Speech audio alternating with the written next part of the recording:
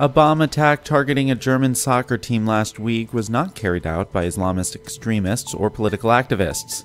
Officials said Friday a 28 year old man who wanted to make millions by causing the team's share price to plummet. The German prosecutor's office said the suspect was arrested on suspicion of detonating three bombs filled with metal pins in a hedge near the team bus of Borussia Dortmund. The team is one of Europe's top teams. No one was killed. The bombs injured a policeman and one of Dortmund's players, 26 year old Spanish international Marc Bartra. Authorities initially investigated the possibility that Islamist extremists or activists from the far right and left were behind the attack, but they arrested a suspect Friday and said he was motivated by greed alone.